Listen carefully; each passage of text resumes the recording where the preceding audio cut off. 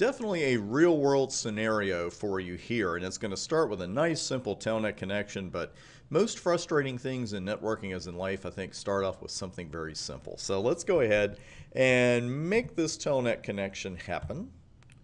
And I'll just up arrow since I did test it, I admit. And we're going to enter the password I configured. Now, let me ask you this pop quiz. I put in a password, that's all I was prompted for, so I obviously did not use the username password database bit. So you know I put login on the VTY lines on router 3, and you know I configured a password. What other command can you tell right now that I put on the VTY lines?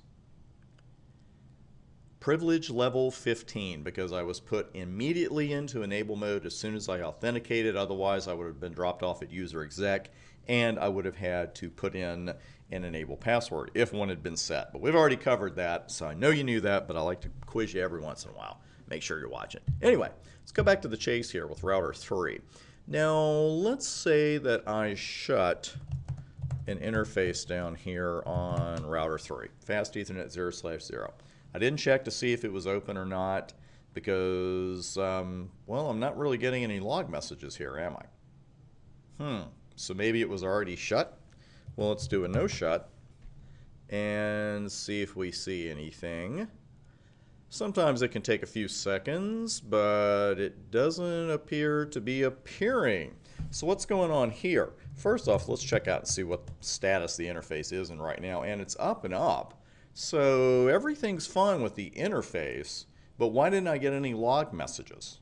Hmm, because sure, you know, I ran show interface and I was able to see whether the interface was up or down, but if you're troubleshooting something, the log messages on the screen really come in handy, right? I mean, you can see when line protocols come up, see when they go down, that kind of thing, and I really want my log messages when I'm telnetting into another device. So why aren't I getting them here? Well, what command should we run first to even begin to see everything that's going on with logging? Show logging, right? And you can see here in the middle, console logging, monitor logging, buffer logging, exception logging, and persistent logging. That's a lot of logging. And if I hit enter there and look at my last line, I've got trap logging. So it looks like I have six different kinds of logging here. And we've looked at console, we've looked at buffer, we know what's going on there. We've looked at trap logging as well. We know that's for the syslog server, so that kind of narrows it down. So what is going on here? Why aren't I getting my log messages?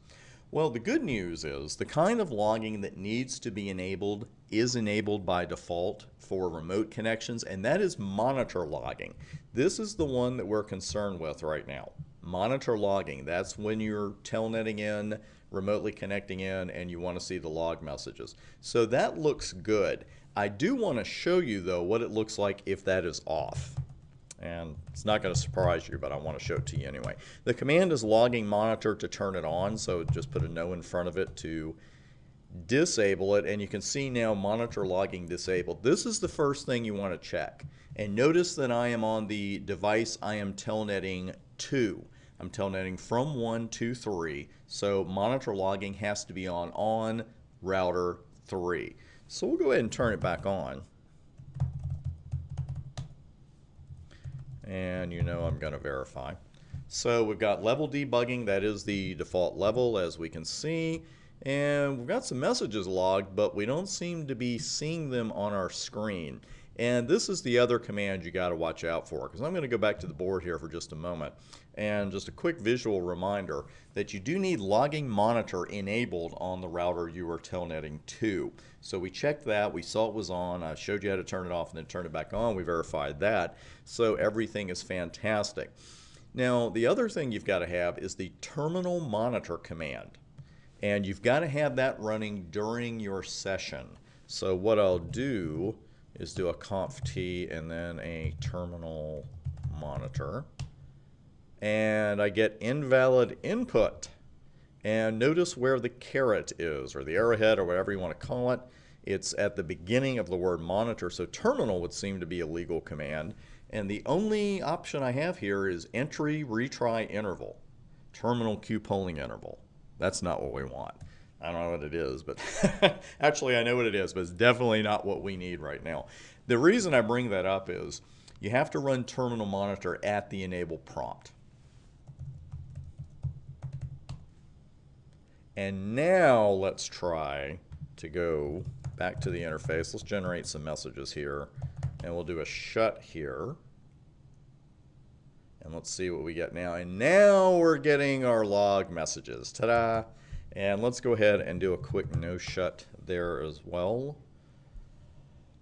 And we'll just make sure we get our messages opening up. And we do change state to up and everything looks fantastic. So I'm still telnetted in. You know, that really didn't have anything to do with it. And you see now I'm even getting a log message saying, where is this being configured from? And we're so used to in this course, and you know, when you're connected directly, you see configured from console by console, but we're not seeing that here. We're seeing configured from console by VTY0, and it even shows the source IP address of the telnet connection.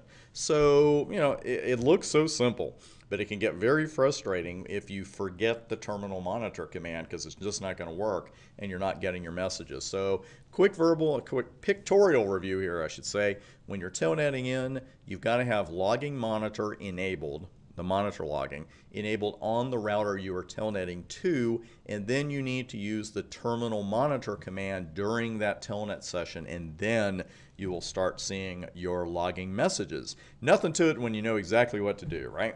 So that'll definitely help you in the real world at least one time in your career, guaranteed and hopefully on the exam as well. Coming up next, we're going to look at some banner configurations and then we'll do some other this and that. Banners coming up next.